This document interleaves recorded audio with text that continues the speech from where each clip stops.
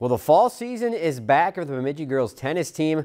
High expectations come with it. They already opened up the season on Monday, but now they are home sweet home today, hosting a four-team invite playing Pequot Lakes first this morning. Let's start with one singles and the Jacks Abby Kelm. Look at the forehand winner down the line here. Nicely done.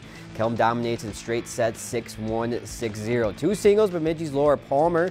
She gets the backhand working. Nice touch past her opponent for the points. 6-1, 6-0 in straight sets. And finally, one doubles. Samantha Edlin and Taylor Offerdahl. And look at the strong play at the net by Offerdahl.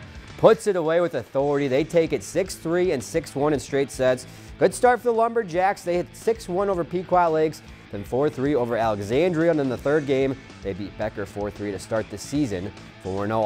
If you've enjoyed this segment of Lakeland News, please consider making a tax-deductible contribution to Lakeland Public Television.